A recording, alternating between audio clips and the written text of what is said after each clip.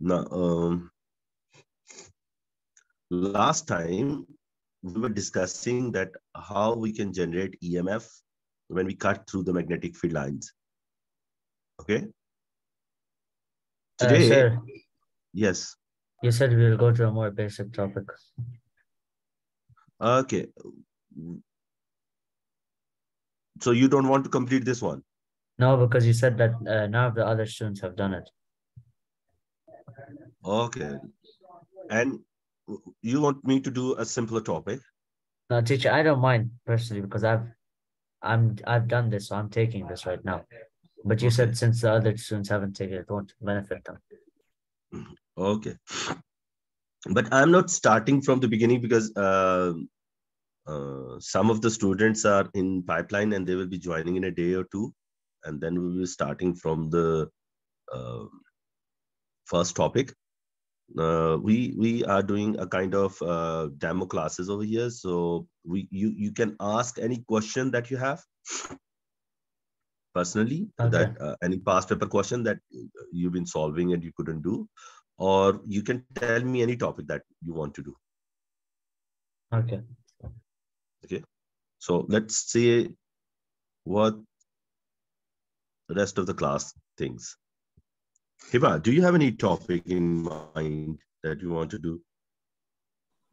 Mm, Not really. and what about you sufyan? No, no uh, Ramin? no your voice is very low. Can you come closer to the microphone Uh, I don't think so. No specific topic. So Okay, okay. So I'm picking a topic by myself. A topic that makes uh, student life very uh, miserable is graphs.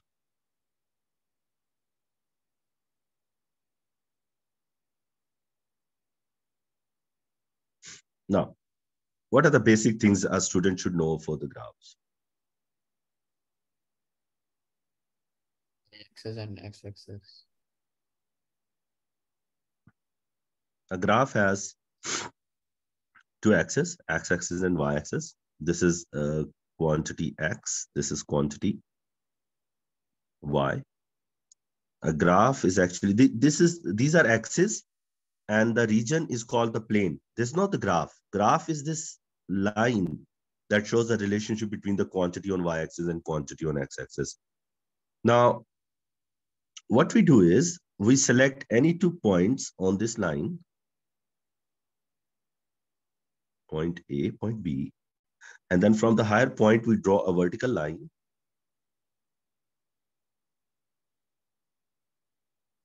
And from the lower point, we draw a horizontal line and we complete a right angle triangle like this. This is the right angle. This side is called rise. And this side is called run. and we calculate a quantity that is called gradient. Gradient equals to rise divided by run. Uh, some math students also remember gradient as um, y2 minus y1 over x2 minus x1. Okay? Same thing. Okay, sir. Same thing. Now, gradient is rise over run. Rise will always come from the y-axis. Not the value of rise. How high is this rise? You will take the top value from the y-axis and the bottom value from the y-axis and you will find how big is this. Where are you getting the rise from? Y-axis. Where are you getting the run from? X-axis. x-axis. So we are getting run from x-axis and, and rise from y-axis. So actually, when we are finding gradient, we are dividing the quantity on y-axis with quantity on x-axis. And I have seen most of the student like like in, in a very miserable condition when they are studying mm, graphs in physics and they they they are trying to remember the gradients of uh, this graph the gradient is this this graph the gradient is this this graph the gradient is this. Actually it is not um, that you have to remember them. Try to understand what you are doing for example on y-axis you have quantity y and on x-axis you have quantity x and when you are finding gradient you're dividing rise with run so you're practically dividing quantity y with quantity x. And all you have to do is start remembering what is quantity y divided with quantity x. Let me give you an example.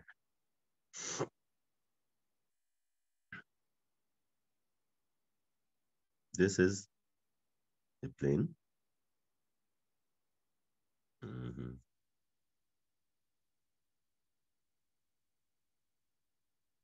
Now, for example, if we have distance on y-axis and time on x-axis. Now, what will be the gradient of this graph? You don't need to remember it.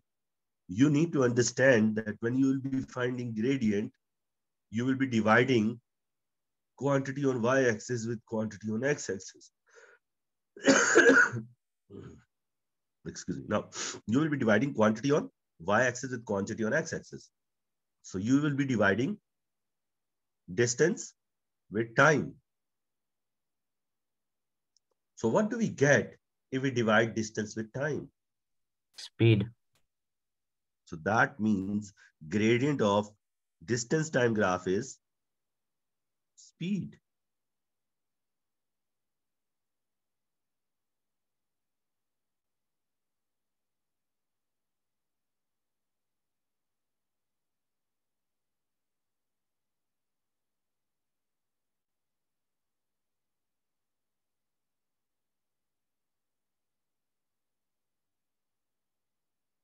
Gradient will be equal to speed.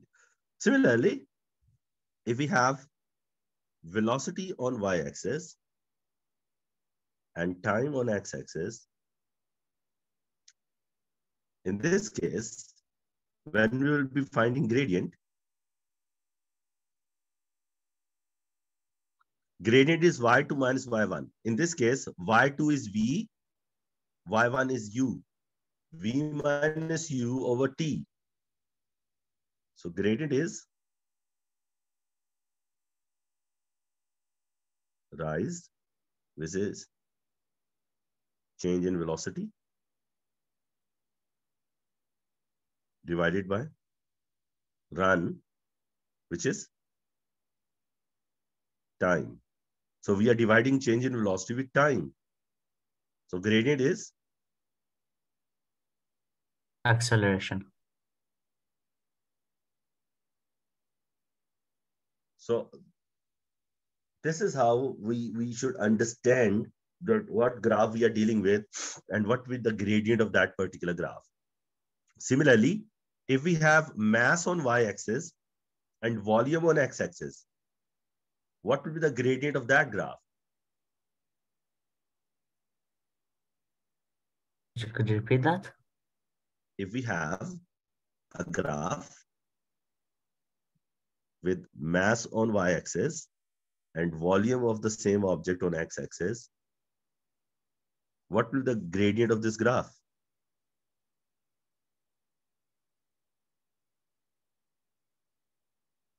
So when you will be finding gradient, you will be doing rise over run. So you will be doing mass over volume.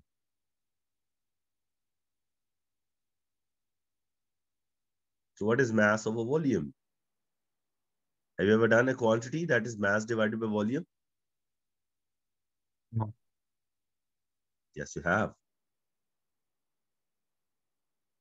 Anybody?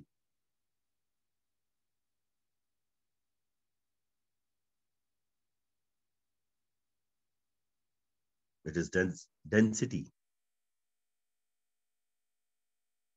So similarly, if, if there is force and area, for example, force and extension, then the gradient will be spring constant. So there can be so many gradients in physics. So, eh, but in your syllabus, the examiner requires you to understand gradient of distance time graph and velocity time graph. And area represents no quantity. In this case, area represents distance or displacement. Now, just to explain this, like uh, in order to be able to um, read a graph, you should be able to draw a graph.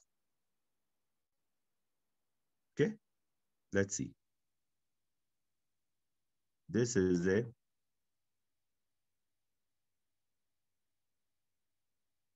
guess what is this?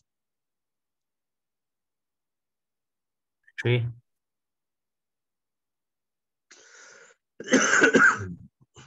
Good.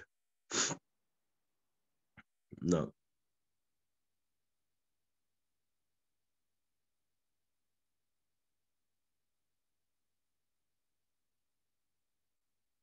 No. Guess what is this?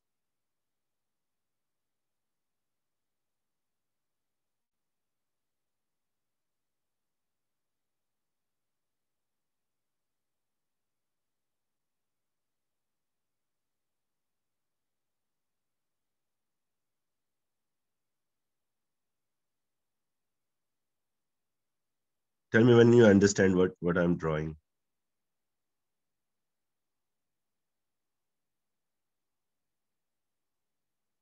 Is it a generator? R. Yes, it's a car. As seen from the top. Okay. Oh, okay. So there is a car and there is another car. Then there is another car. So how many cars are there? Three cars. Car A, car B, car C. There's a person standing here who has a stopwatch in his hand. And on he he can use the stopwatch to measure the distance and time and everything. So he records the distance traveled by each car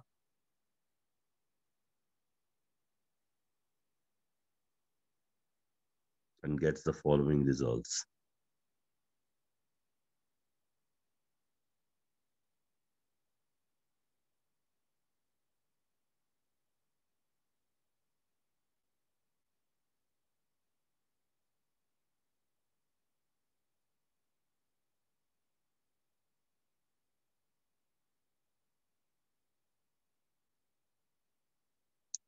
No. This is time in seconds 0, 1, 2, 3, 4, 5.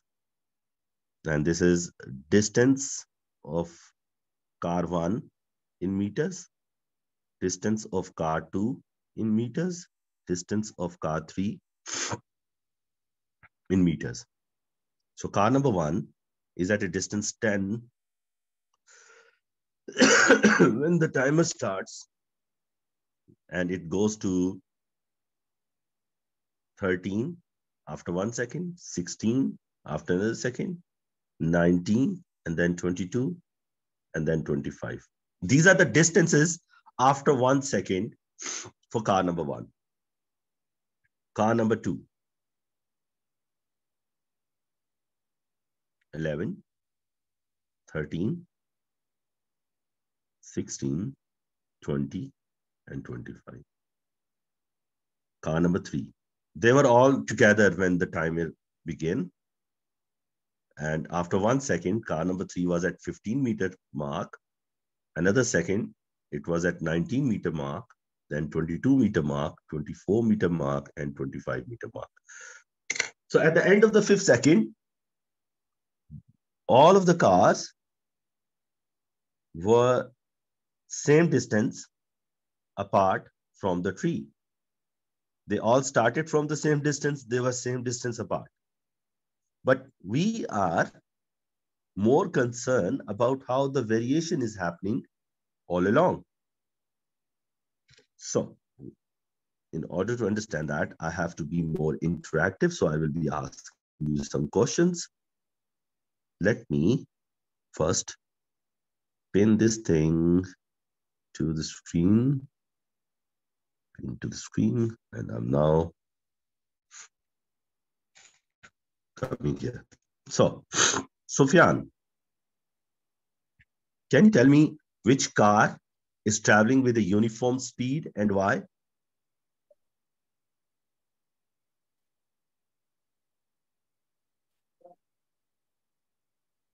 Your, your Uh, voice is very low. Yeah, can you repeat the question, sir? My question is, can you tell me which car, car number one, two, or three, is traveling with a uniform speed?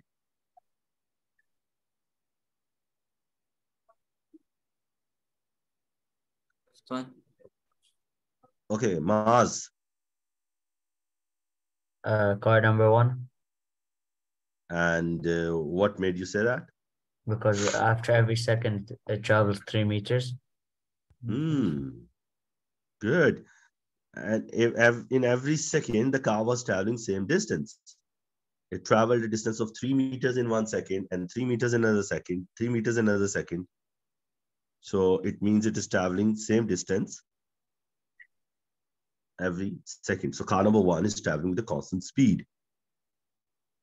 Now, which car is traveling with an increasing speed? We have a newcomer in the class right now. What is your name? Tatiana or Gia?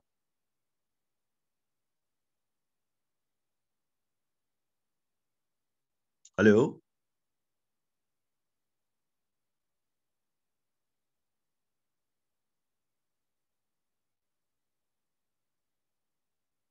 Nope. Okay. So, Hiba, which car is traveling with an increasing speed? Um, car two? Can you explain why? Mm, not entirely sure. You're not supposed to be. You're a student. But saying anything wrong is not going to harm you. Um, Just, just share. uh, Like, obviously, obviously, if you're saying that car number two is traveling with an increasing speed, you have observed something. Try to put it into words or, or just try to explain that. Not, I'm not asking you to, for a correct explanation, but whatever you're thinking, just start speaking. um, not really sure entirely how to put it into words. It just feels like it's car number two. guessing can be equally right or equally wrong so that is not the way we can uh, proceed so your guess is right but i need to know why is that ramin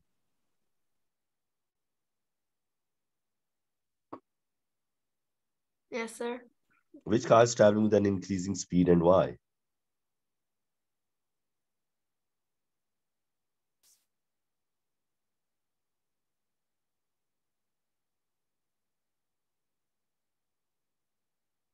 Nope. Listen, car number two is traveling with an increasing speed. And the reason is because it is traveling more distance in every next second. Look, from zero to one, it traveled just one meter. From one to two, it traveled two meters. From two to three, it traveled three meter. From three to four, it traveled four meters. From four to five, it traveled five meters. So it is traveling more distance in every coming second. that means its speed is increasing. It is traveling with an increasing speed. Now,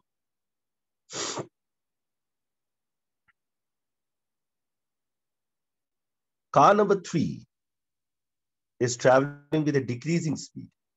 Look, it traveled five meter in the first second, nine, four meter in the next second, three meter in the next second, two meter in the next second, one meter in the next second. So it is traveling less distance in every coming second.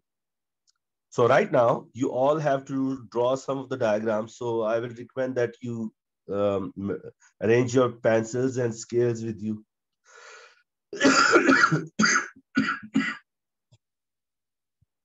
Excuse me. Now, what you have to do is on, on your notebook, you have to make a vertical axis like this. And horizontal axis like this. Okay, try to make it with a scale. That will be better. Let's see. You can start this scale, this side with 10,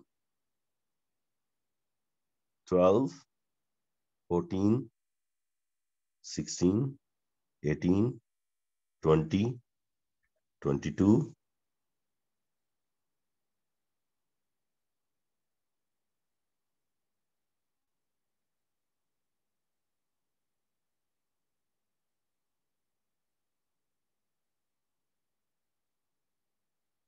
Just one second.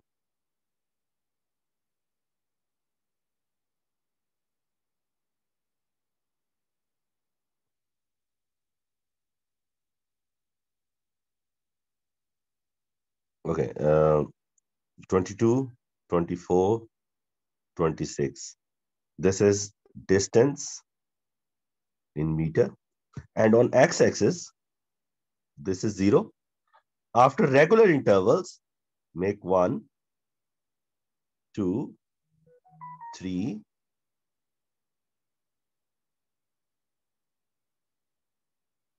four, and five. This is time in second. So you have to make three copies of this thing and make sure it is approximately all right. And, and the problems that you can do is on, on x-axis, normally when students are writing one, two, three, four, they are not equally spaced. Okay. You have to make them equally spaced. And on y-axis, you can use one line on your notebook as two. So now look at the data for car number one. At t equals to zero, t equals to zero, the car number one is at 10. At one second, it goes to 13. At two seconds, it goes to 16. At three seconds, it is at 19. At four seconds, it is at 22. And at five seconds, it is at 25.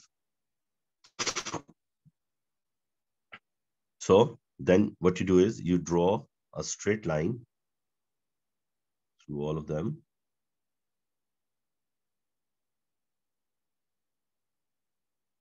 See, this is the distance time graph for car number one. You have to draw the distance time graph for car number one, and then you have to draw it for car number two, and then you have to draw it for car number three, and share your work in the group. Hurry up, everybody. Start working now. And uh, if you need data, you can take a screenshot of this thing right now. It is on the screen. Take a screenshot. Done?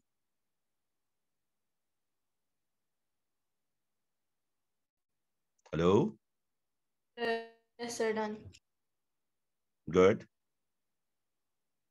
Ever took a screenshot? Now uh, you can see the data from there.